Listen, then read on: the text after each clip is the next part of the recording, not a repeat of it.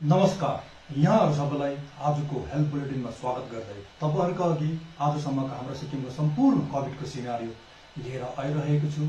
र यो कोभिडको इन्फर्मेसन डाटाहरू तपाईँको अगाडि राख्नुभन्दा अगाडि तपाईँहरू सबै सबैजनासँग नै हेल्थ डिपार्टमेन्टले यही एउटा कुरा अपिल गर्छ कि तपाईँहरूले कोभिड एप्रोप्रिएट बिहेभियर राम्रोसितले फलो गरिदिनुहोस्। अनि यो अहिले जुन चाहिँ सिजन छ तपाईँको कोभिड त अहिले तपाईँको अब बढ्दै गइरहेको छ अलिअलि गर्दै तर साथसाथै तपाईँको डायरियाहरूको सिजन पनि आइरहेको छ र तपाईँको यसमा डेङ्गीहरूको सिजन पनि आइरहेको छ। त्यसले गर्दाखेरि तपाईँको कति जग्गामा तपाईँले आफ्नै घरमा नै हेर्नु सक्नुहुन्छ जुन चाहिँ त्यो फ्लावर पटहरूको मुनि जुन चाहिँ पानी रहेको छ फ्लावर भाषा पनि मच्छर घर घरभित्र पनि त्यो मच्छर आइरहेको हुन्छ। सो तपाईँले हेर्नुहोस् त्यसलाई सफा गरिदिनुहोस्। कहाँ कहाँ पानी कलेक्ट हुँदछ त्यसलाई सफा गरिदिनुहोस्। घरको जुन चाहिँ इन्भाइरोमेन्टल सेनिटेसन भन्छ वरिपरिको त्यसलाई राम्रोसँगले राखिदिनुहोस्। र फेरि जतिजनाको घरको वरिपरि यस्तो झाङहरू हुन्छ तपाईँको जस्तो स्पेसली फर्सीको झाङ छ अरे त्यो बोटको इस्कुसको मुन यस्तो छ इस्कुसको मुन्टाहरू भन्ने सिजन छ अहिले है तपाईँको यस्तो कुनै अरू झाङहरू छ भने यहाँ एउटा सिन्दुरी भन्ने किरा पनि हुनसक्छ। त्यो सिन्दुरी भन्ने किराले टोक्दाखेरि तपाईँको स्क्रब टाइपस भन्ने बिमारी पनि हुने चान्सेस छ। त्यसमा पनि तपाईँले जोगेर बसिदिनुहोस्। र यो सबै कुराले यस्तो टोक्दाखेरि औँलाको चेपचेपतिर यस्तो भित्रको योतिर कानको यस्तोतिर यो काकीको योतिर पनि त्यो किराहरू टोकेर तपाईँको त्यहाँनिर घरहरू बनाउँछ। सानो आँखाले पनि भ्याउँदैन। तर सानो एन्टर गरेको हुन्छ। हाम्रो जो गाउँ बस्तीमा हुनुहुन्छ डिल गर्नेहरूलाई त उहाँलाई याद छ जस्तो हाम्रो अलिकति अर्बन एरियामा बस्नेलाई यसको बारेमा कतिलाई याद हुँदैन। त तपाईँले एकखेप नेटमा पनि सोच गर्न सक्नुहुन्छ। हामी यसको बारेमा अझै तपाईँलाई के के कुराहरू अझै पनि लिएर आउनेछ। सो कतिवटा बिमारीहरू तपाईँको सिजन आउँदैछ र कतिवटा कुराहरू चलिरहेको छ यो सबै तपाईँले याद गरिदिनुहोस्। र हाम्रोमा कुनै पनि एउटा अरू पनि बिमारीको विषयमा या कोभिडको विषयमा कुनै पनि जानकारी आउँदैछ भने हामी तपाईँको अगाडि लिएर आउँछ। र तपाईँसँगको लागि तपाईँ सबैजना आफूलाई सुरक्षित राखिदिनुहोस् भन्दा म डाटा राख्न चाहन्छु। र हाम्रोमा total number of test done हेर्नु पऱ्यो भने तिन लाख। एकचालिस हजार आठ सय बहत्तरजना टेस्ट गर्नुभयो। यसभित्र उन्चालिस हजार दुई सय उन्तिसजना कन्फर्म केसेस छ भने सात सय पचपन्नजना आउट मार्केट छ चार सय चौवन्नजना टोटल डेथ सैँतिस हजार नौ सय एकानब्बेजना रिकभरी भएको छ भने आज न्यू रिकभरी दुईजना छ राम्रो कुरा छ। र न्यू केसेस फेरि पाँचजना बढेको छ। त्यसले गर्दाखेरि उन्तिस ट्वेन्टी नाइनजना तपाईँकोमा हाम्रो एक्टिभ केसेस आएको छ।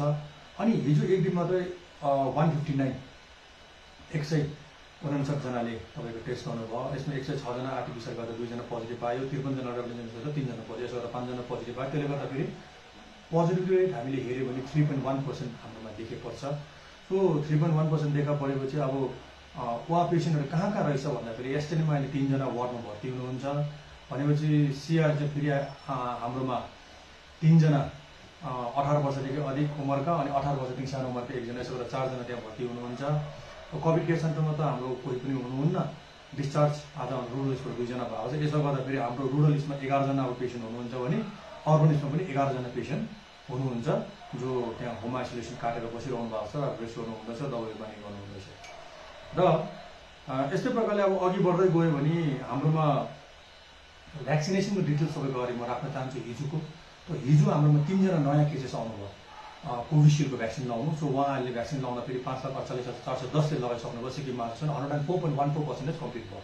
र यसरी नै सेकेन्ड डोज भने छ्यासठीजना आउनुभयो पाँच लाख तिन हजार पाँच सय तेत्तिसजना लाउँदा ninety seven point three nine percentage लाउनुभयो अनि प्रिपेसन रेट निनानब्बेजना लाउँदा चालिस हजार दुई सय सत्तरीले लाउनुभयो र यही प्रकारले पन्ध्रदेखि अठार वर्षको कोभ्याक्सिनको कुरा गरेर छजनाले लाउनुभयो फर्स्ट डोज त्यसले गर्दा अझ अडतिस हजार नौ सय एकतिस हजार ninety four point nine five percentage complete भयो भने सेकेन्ड डोज पच्चिसले लाउँदा बत्तिस हजार छ सय तेह्र।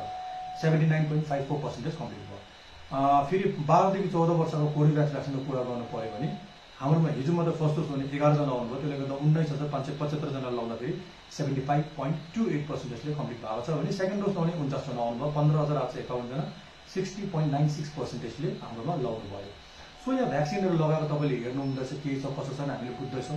तर कसैको पनि पालो आउँदैछन् आइदिनुहोस् केटाकेटी छन् तपाईँले ल्याइदिनुहोस् अहिले समर छुट्टी हुँदैछ र हामीले फेरि पनि हरगर दस्तक फेरि सुरु गरेको छ टु पोइन्ट जिरो भन्ने मैले सेकेन्ड राउन्ड सुरु गरेको। तर यो हाम्रो इन्डिया गभर्मेन्टले सुरु गर्दा अगाडि इन्स्ट्रक्सन दिँदा हामीले नै डोर टु डोर क्याम्पेन भनेर निकै अगाडि नै सुरु गरिसकेको थियो।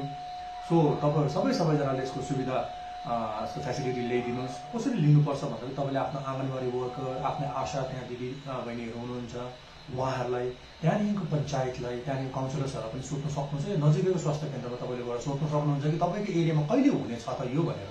सो त्यो छ भनेपछि तपाईँले कोर कोरियोभ्याक्स कोभ्याक्सिन मात्रै होइन कोभिसिल्डको पनि नानीले ठुलो जसले पनि तपाईँले फाइदा लिन सक्नुहुन्छ र अझै पनि हाम्रोमा जानकारी कतिवटा प्राप्त भएको हिसाबले फर्स्ट डोज पनि कतिले लगाउनु भएको छैन एडल्टहरूले पनि। सो त्यो पनि लगाइदिनुहोस् तपाईँलाई म यही रिक्वेस्ट गर्न चाहन्छु। र साथसाथै तपाईँको यसमा अर्को कुरा चाहिँ के बुझ्नुपर्छ भन्दाखेरि भ्याक्सिन लगाएर के फाइदा हुन्छ त भन्यो भने हामीलाई भ्याक्सिन भने इम्युनिटी लेभल हुन्छ। सो यो इम्युनिटी तपाईँको त सेकेन्ड डोज लगाएर मात्रै हुन्छ फर्स्ट डोज लगाएर हुने कुरा आएन सेकेन्ड डोज लगाएपछि हुन्छ। र यसमा तपाईँको बिमारी लागिहाल्यो कोभिडले चापिहाल्यो भने पनि गम्भीर अवस्थामा पुग्ने बात छ। कोभिड पनि धेरै कम्ती तपाईँको स्प्रेड गर्ने चान्सेस ज्यादा छ। भने त्यहाँदेखि अर्को चाहिँ तपाईँको जान जानदेखि पनि बचाउँछ। र अब कोभिड नलाग्ने हो भने चाहिँ कोभिड एप्रोप्रिएट बिहेभियर फेरि हामीले फलो गर्नु पऱ्यो सबै सबैजनालाई याद छ कोभिड एप्रोप्रिएट बिहेभियरमा के के हुन्छ भनेर। है हामीले बारम्बार तपाईँलाई भनिरहेको छौँ कोभिड एप्रोप्रिएट बिहेभियरको बारेमा। र यो सबै तपाईँले एप्रोप्रिएट बिहेभियर असल प्रकारले असल नागरिक भएर असल तरिकाले फलो गर्नु पऱ्यो र फलो गरेर आफूलाई आफूलाई सुरक्षित राख्नु भयो हेर्नुहोस् हामी एक एकजनाको किम जान किम्ती हुन्छ? तपाईँको जान किन किम्ती छ? किन तपाईँलाई केही भने तपाईँको घर परिवारको बारेमा सोच्नु पऱ्यो नानीहरूको बारेमा सोच्नु पऱ्यो तपाईँसँग कतिजना जिन्दगी बाँधेको छ यसको बारेमा सोच्नु पऱ्यो। सो यसले गर्दाखेरि हामीले यो कुरालाई राखौँ विचार गरौँ।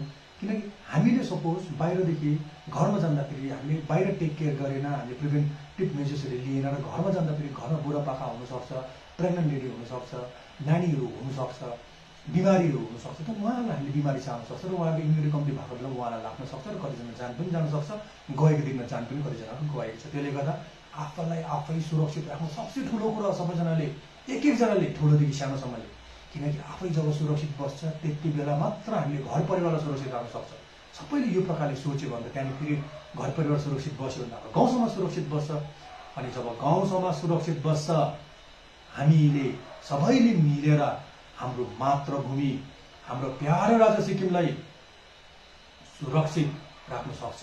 अनि फेरि एकचोटि कोभिड मुक्त बनाउन सक्छ भन्दै आजको बुलेटिन म यहीँ राख्न चाहन्छु। धन्यवाद। आफू पनि बाँच्नु अरूलाई पनि बचाउनु